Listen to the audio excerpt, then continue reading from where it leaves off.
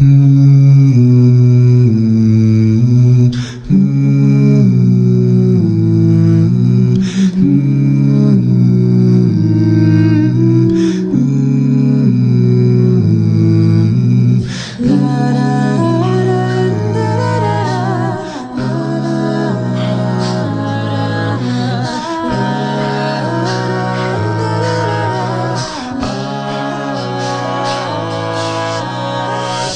Now and then I think of when we were together.